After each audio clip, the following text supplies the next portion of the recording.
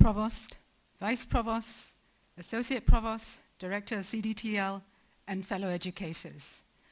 Welcome to the 2009 Outstanding Educator Public Lectures. Now before we proceed with the lectures, please allow me to add my congratulations to all the winners. I salute you, well done, and it's truly a pleasure to celebrate your achievement. And the pleasure remains undimmed, although this is, I think, the eighth, ninth, ninth time that I've been at a university um, teaching award ceremony. I've been at every one since its inception in 2000. But as I say, I can honestly say that the pleasure of witnessing the recognition and honoring of the deserving is truly gratifying. And this morning we have two colleagues who have been deservedly recognized as outstanding educator. First, in alphabetical order, is Goh Say Song. Say Song is an associate professor and assistant head at the Department of Mathematics. He's also the director of the Center for Wavelet Approximation and Information Processing. Say Song earned his BA honors at Oxford and then proceeded to take his master's and PhD at Michigan Ann Arbor. Upon successful completion of both, he joined NUS and the Department of Mathematics in 1994, if I'm correct. And uh, since then, apart from keeping up with his research, he's also been busily garnering multiple teaching awards, both at faculty and university level. Now, among his many achievements are his very successful efforts at seducing students. Don't get worried. I was only going to say that you were very successful at persuading students that mathematics can be enjoyable, even for the non-nerds. Uh, sorry, I mean for the non-math geniuses. Well, Say Song is certainly passionate about advancing the cause of uh, mathematics education, and he has been very active in outreach programs at the schools and junior colleges. And in so doing, I'm sure he's raised the profile of his discipline as well as his department. Now, I might mention here that the Department of Mathematics is one department who has the largest number of OEA winners. Right? And I think the department should be very proud of that fact. It's produced three outstanding educators and of course also a provost. In fact, I think two provosts because Prof. Chong is also uh, uh, from the mathematics department. Maybe it's time to seriously consider an outstanding department award. but before I get off track, let me get back onto the agenda by inviting outstanding educator, Associate Professor Goh Say Song, to share with us his ideas on our role as educators in university education. Say Song, please.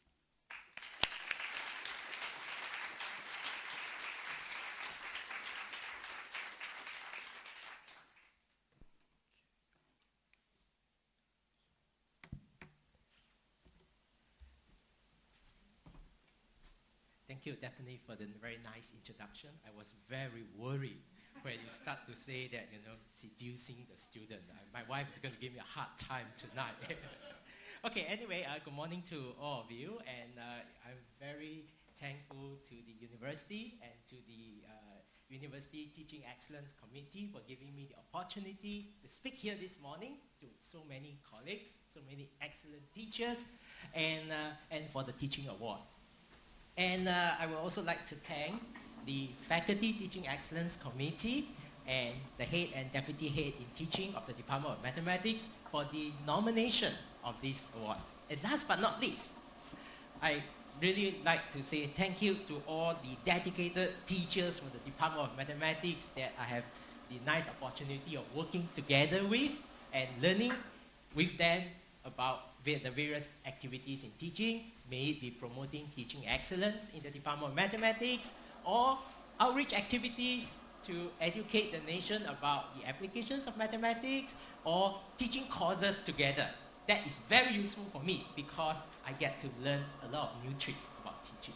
So today I'm going to tell, talk a little bit something slightly different, and I'm going to talk about instead of teaching methods, I'll talk about some thoughts, some thoughts of my thoughts about our roles as educators in the university. Now I'm sure many of you have your own ideas about this, so what I'll present today is actually my personal opinion about our roles as educator in the universities. So therefore, what you hear today would be my opinion, and it does not represent the opinion of my employer, my faculty, or my department. okay, so let's get the ball rolling. And to start off with, I'm sure some of you know, and I hope all of you know, what is our NUS mission. So before I came, before I prepared this talk, I take a look, from time to time, I look at our mission of the university because I think the mission is very well written and is very concise and precise, exactly like what mathematician likes in a few words. Transformative education about the way that people think and do things through three areas, teaching, research, and service. And if you look further into the mission, you will actually notice that there are three elaboration about the three areas. So I'm going to indicate and highlight to you two of those, the elaboration about education and what it elaborates about service. Now, for education, there's this keyword that I was really excited to see, transformative education. How are we going to transform our student? That's the first thing. And for service, there's another part that something that holds dearly to my heart, and that is dedicated service for national development. We are the National University of Singapore. So what we should do and what we hope that we will do will contribute towards the national development through our educational effort. So if we have this in mind, then we will have an idea about what are the roles in education. Now, as a mathematician, I will classify things as category A, category B. Category A means the formal roles, the official roles. Then category B, that means the informal roles or the other roles. And what are the possible roles that we can have under here? Any takers? Now, let me take the easy way out. What are the things that we should do in the university, teaching, research, and service? So the official role will be, will be an educator we can be a researcher. And we can be an administrator, administrator that contributes towards education. So these are some formal roles. And many of us feel that, you know, you teach a lecture, the students should be entertained. Maybe we should be entertainer. But this morning, Huang Hun has just disputed that this is not going to work. Our student wants to be educated, but they do not. They do not need to be a full-time entertainer. So maybe we can go for something that is slightly in between. You educate and you entertain at the same time. Maybe you can be an edutainer. Perhaps. That's one possibility. And then you say, after all, it's all about learning knowledge. So we can play the role as a knowledge builder. We build the knowledge. We want to challenge our student. We want to bring out the full potential of our student so we can have things like challenge provider. Then on the other hand, we as a research university, we can actually provide lots of research opportunities for the student. We can be a research mentor. And being a research mentor, you can facilitate knowledge. You can facilitate the invention of knowledge. And like I say, I hope that we can contribute towards national development. So we should be a good role model. Role model as, as an educator for the students. And some of uh, us will say, what else can we do? Maybe we can be motivational speaker there. But, well, you can do that, but we should take one step further. We can go for something like an inspirational teacher. You inspire your student in all aspects. Inspire the students to be interested in education, inspire the student to be interested in learning, to bring out the potential. So these are some of the possible roles that we can have in education. And that brings me to the outline of my talk. And I would like to be simple, and I'll concentrate on issues and challenges about how we can carry out our roles as educator in the universities. And I would like to share with you some of my personal experience, some of the methods I have used, the strategies and ideas to carry out my role as an educator in the university, and I'll conclude to think a little bit and to reflect a little bit about how I spent the last 15 years of my life in the university. So that is my plan for today. Okay, there are many questions that we can ask as regards to the roles of our as an educator. Now, to say the least, we should provide students with knowledge. We should provide students with the fundamental knowledge. So how are we going to provide that? Now, this is the dangerous path in the sense that sometimes we are so obsessed about providing this solid knowledge until the stage that it becomes, you know, teaching a lot of materials. This is something that we should think about. And ultimately, you want our students to be more active in learning. Very often, due to the structure, due to their education experience, it turns out that very, very often our students do not participate as actively as they should. So how can we encourage them to be active learner? And at the end of the day, we want to train them so that they can actually move on, either further studies or to learn new things after their graduation. How do we inculcate the ability for further and independent learning? These are some of the issues that we can actually address. Other issues, these are some of the more practical issues. Practical issues as in, since we are a big university, we have so many students. It's inevitable that we have very good students, we have some students which are weaker. So the question is, how are you going to accommodate both? Should you only concentrate on the good students or should you actually try to inspire both the good students and the weak students? So this is one question and this brings us to how are we going to challenge all students effectively? I've highlighted two keywords. First one, effectively. Second one, all. Why do I indicate the word challenge effectively? Because in order to challenge the students, there are many things you can do. You can always teach at a level that is much higher than they can absorb. You can definitely challenge them. But is this really effective? Because some students may just get blown away completely. So the issue is that how do you challenge them effectively? And do you want to just challenge the good students? Or do you think that actually the average students also deserve to be challenged and can be challenged because at the end of the day, what we want is we want to bring out the full potential of the student. Different students have different strengths and they have different potentials. And to me, as long as we can bring out their full potential, that is good enough.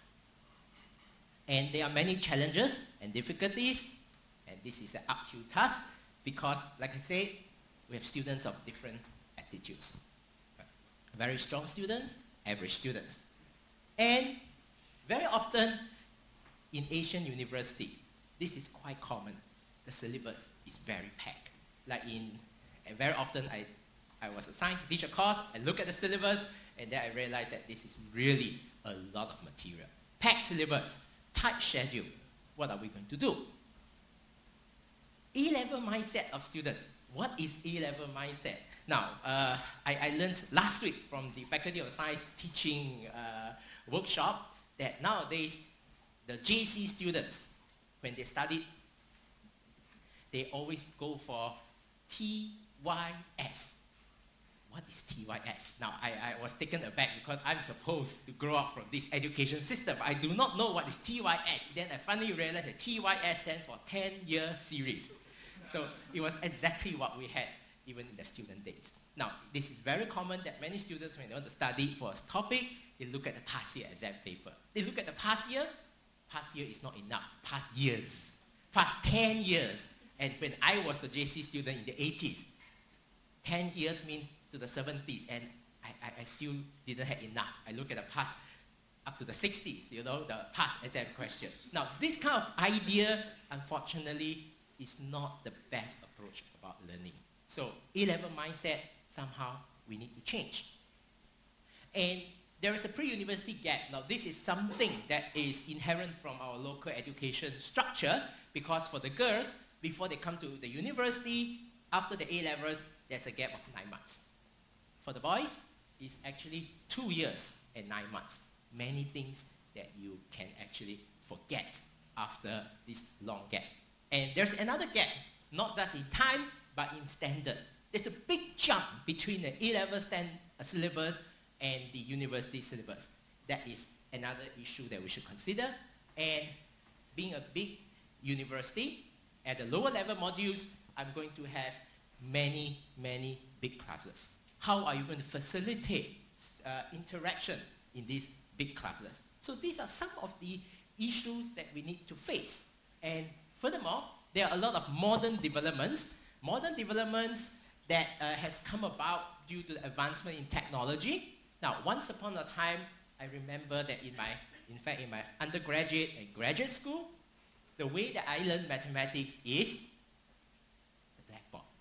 And when I came to NUS in 1994, I realized that there's a big advancement. We don't use blackboard anymore. We use the whiteboard. and one of my colleagues even told me that, you know, here we are more advanced, more high-tech. We use the transparency to conduct lectures. That was in 94. And nevertheless, whether is it whiteboard, blackboard, they, they are all boards. And this is what we call the old school way of teaching mathematics. And suddenly, at the, towards the end of the 90s, big advancement in technology, internet, computer, tablet PC, all this comes about. And so the question is, how are we going to incorporate modern technology, technological developments into the old school way of learning? Now, should we just eliminate the old school way completely, or should we try to get what is good in the old school ways and then try to combine them together and put it together and try to utilize all these advances in technology? And I went to two universities for my undergraduate and graduate school. The total number of years of heritage of these two universities is about 1,000 years. I'm sure there are some good that we can get out from the old school way. So the question is, what are we going to do? And last but not least, like I said, we want to contribute towards national development. So maybe we should look at the picture of what I call the education ecosystem of Singapore. We are here as university educators. Our main contact, our students in the system, which is university student. And you may say that there are maybe two other parties to simplify the picture under this ecosystem. They are the school teachers, the school student. And what we do is that we educate the university student. As part of the contributions towards the nation, we offer certain workshops to the school teachers to bring them to their attention some of the latest development in research. Sometimes we go down to the school to inspire the school students. This is our rounds of interaction. And at the end of the day, many of our university students, after they've graduated, they join the education service. They become school teachers. And that brings us to theorem 1.1 of today. Good students becomes good teachers.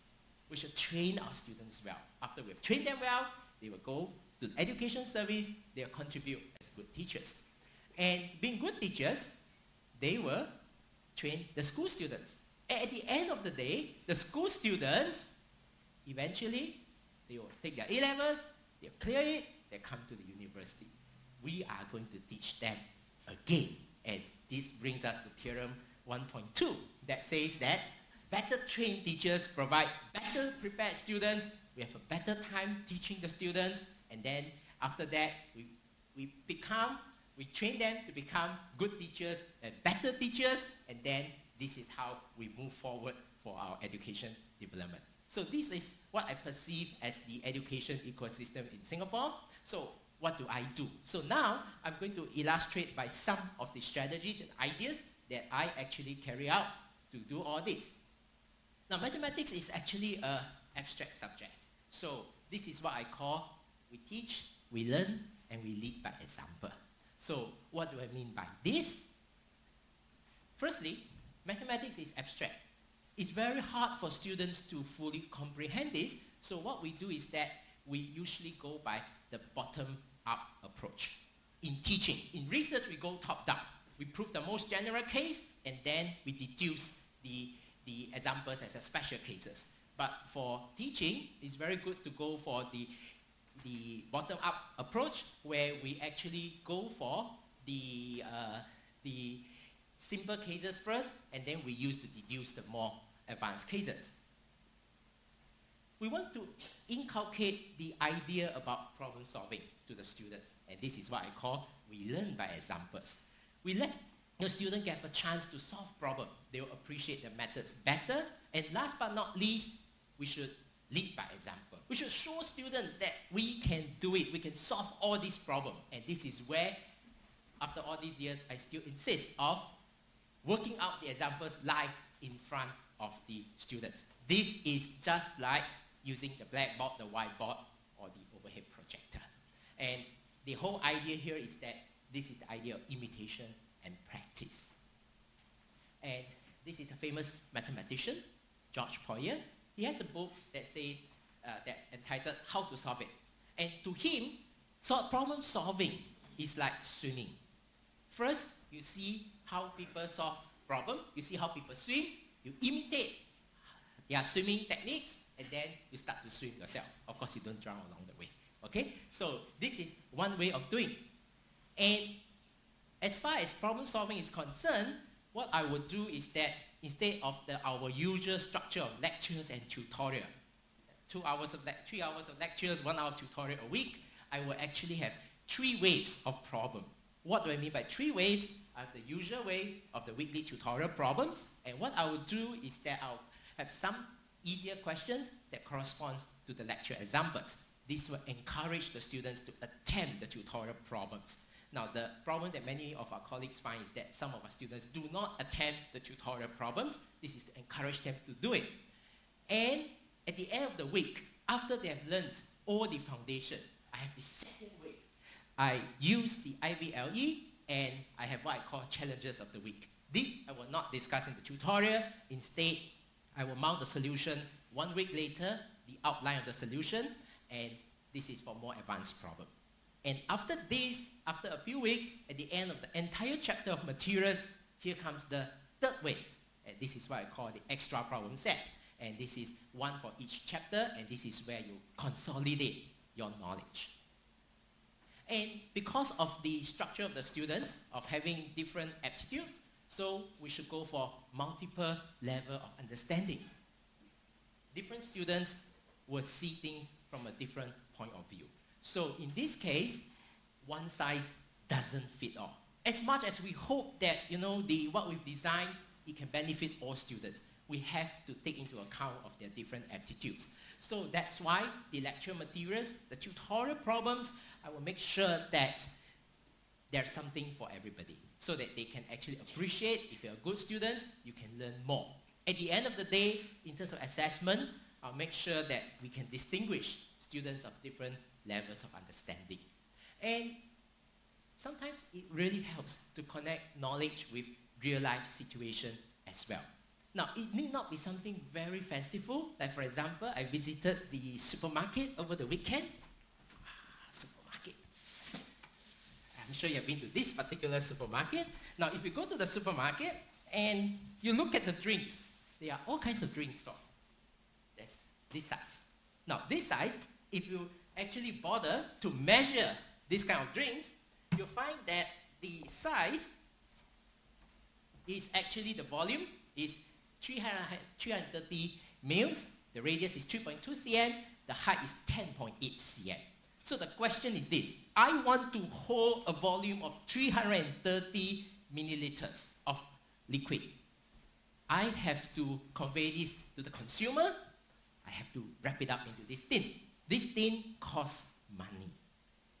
Top part, the bottom part, the side, all this you need to you, you need money to create all this. And the question is that to do all this, am I using the material in the optimal way?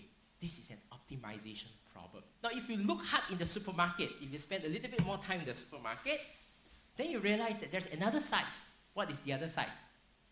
This one. this is a smaller size, and it's taller, and, and this is the other type of drinks you have in the supermarket. And if you do that, then the volume is 240 mil. And then this is the radius and the height. So the question is this, which company actually uses the material in a more optimal way? Now that one, I'll leave you to go back and work it out yourself. this is a calculus optimization problem.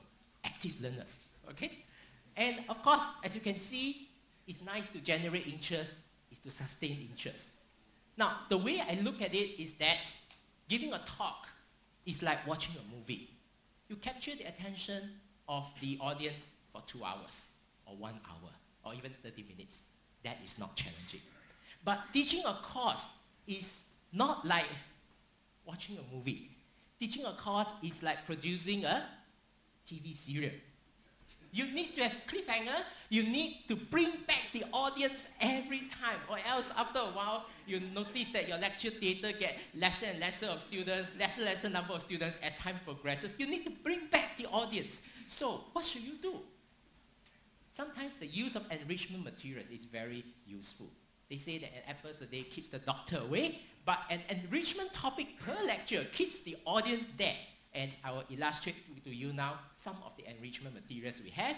For example, you can talk about historical perspective of certain results, and this is about the result of L'Hopital rule, and this is about how L'Hopital invented, so-called invented L'Hopital rule, where he actually did not, and it was invented by Bernoulli, so you can show the story about Bernoulli you can use video clips. Now, this is something that is very hard for our students. Limits. F of x, limit as x goes to x0, f of x equals to L. What does this mean? Now, this simply means that fx approaches L.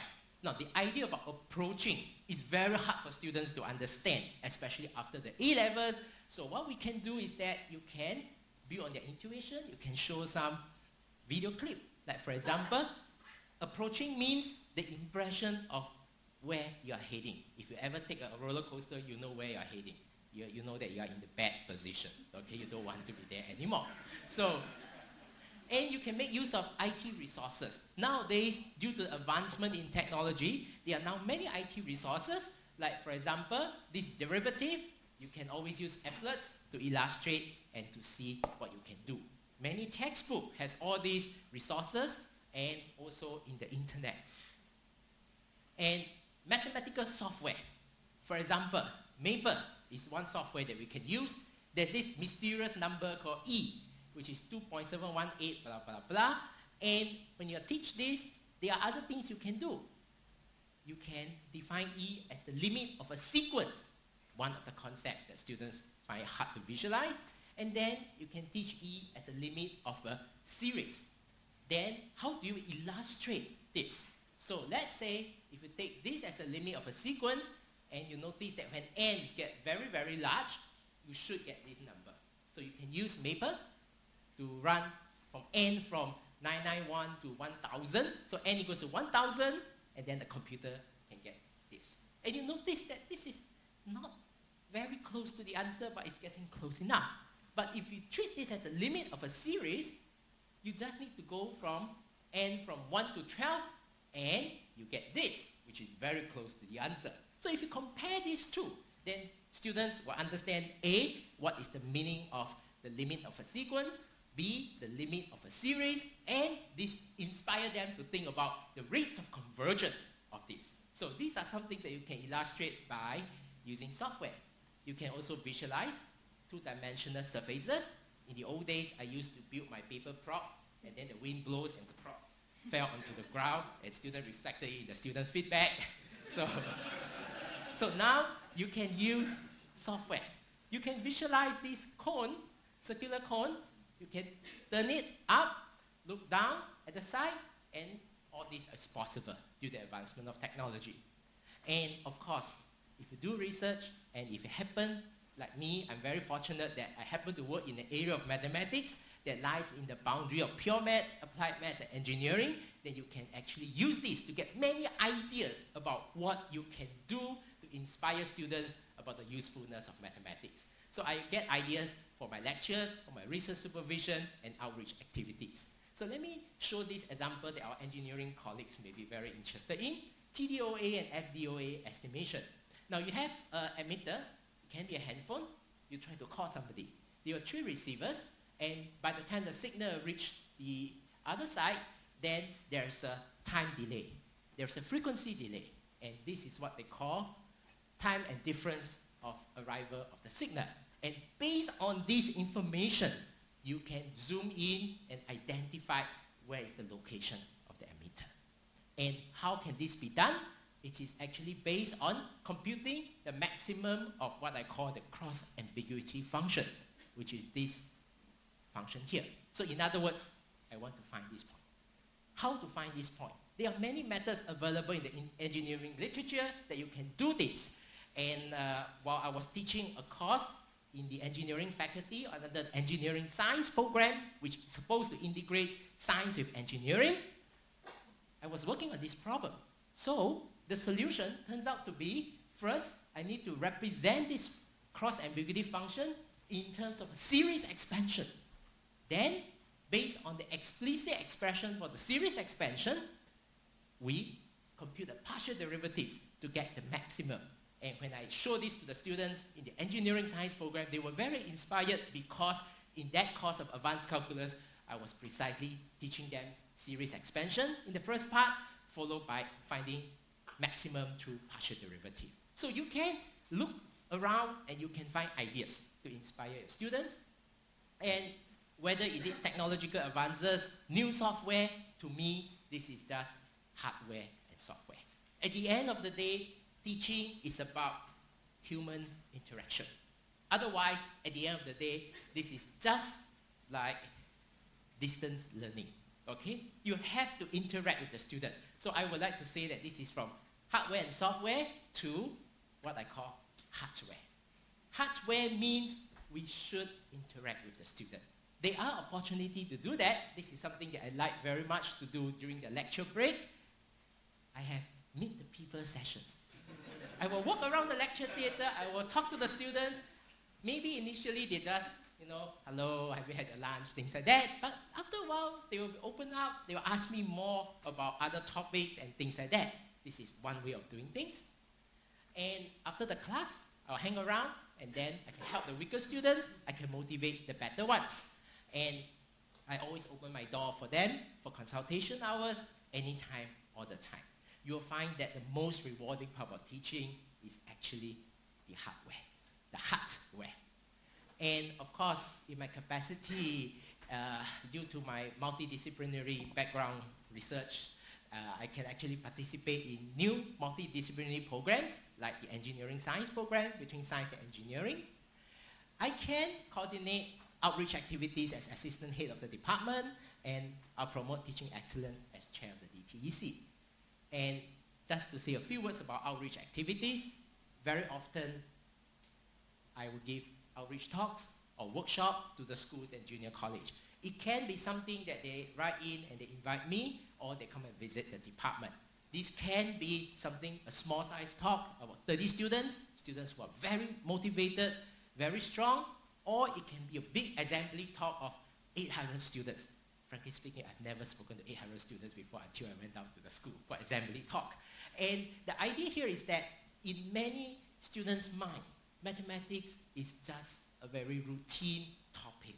You need to inspire them about mathematics is actually beautiful, it's actually relevant.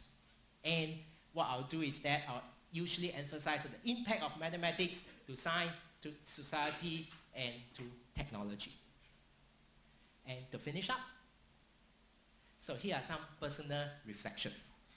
15 years have gone by since I stepped into NUS to pursue my dream. So my conclusion is that I tried. I really tried and I will, I will continue to try to inspire students and to bring out the potential of both good and weak students. Now, I do not believe that we should eliminate the weaker students. We should help them, we should bring out their full potential because ultimately, all students deserve to be inspired. And I play appropriate roles for students at different parts of their learning. Like if I'm assigned to teach a first year's course, it's okay to me, I'm just one of the pieces in the bigger puzzle of the students' learning. So to me, no job is too big or too small. From the technical point of view, I'm, not an IT expert. 10 years ago, I do not know how to use the PowerPoint. Three years ago, I do not know how to use Maple. I learned from our colleagues and co-lecturers, and you can do this. You need not invent new IT resources. You can get it from the internet or from the textbook. And you can get ideas from your research to connect mathematics with application. So, is it possible to keep the old school way of learning? Is it possible to combine the old school way with the modern advances? And I can confidently say that yes, we can. Because the old school way and the modern technology may give you a new, different perspective about teaching. So let me just show you two pictures of two famous mathematicians. This is Poisson. And Poisson says that life is good for only two things, discovering mathematics and teaching mathematics. And this is another mathematician and physicist. This is Newton. And Newton says that if I have been able to see further, it was because I stood on the shoulders of giants. I learned from this great man. And my conclusion about 15 years in NUS is that as an educator in the university, I stand on the shoulders of giants to experience the two good things in life, discovering mathematics and teaching mathematics. Thank you very much.